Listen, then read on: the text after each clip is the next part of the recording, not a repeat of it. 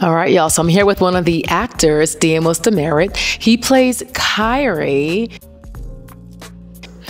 So we see many series and film that come and go. What gives you the inspiration to keep putting out seasons of To Each His Own?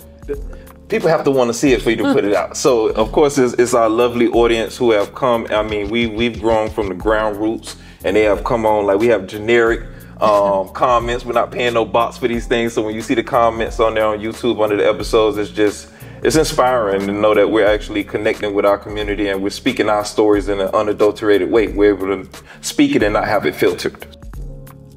What were your challenges of directing season three compared to the first two seasons?